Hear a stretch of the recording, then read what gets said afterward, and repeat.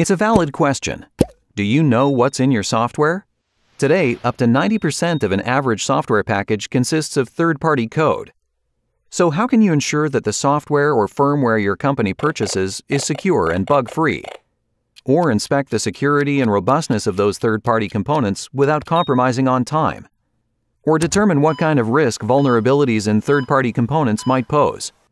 Or introduce open source and other third party code to software projects in a controlled manner without introducing legal or business risk.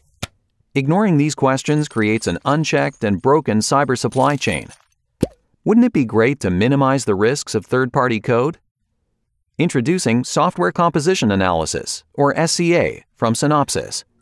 Our SCA solution quickly and accurately scans virtually any software package it produces a bill of materials listing third party components, their versions, and their location.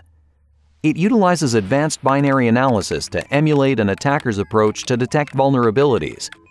And our SCA solution runs on either source code or binary, either as a managed service or as an on premise virtual appliance, so that you always know for certain what's in your software. See what Synopsys can do for you.